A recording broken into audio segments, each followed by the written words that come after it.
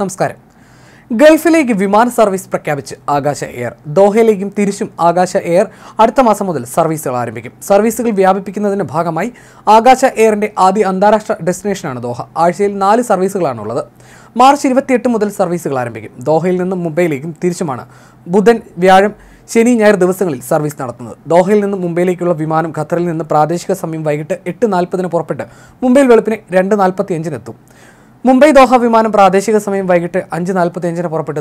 ദോഹയിൽ പ്രാദേശിക സമയം ഏഴ് നാൽപ്പതിനും എത്തും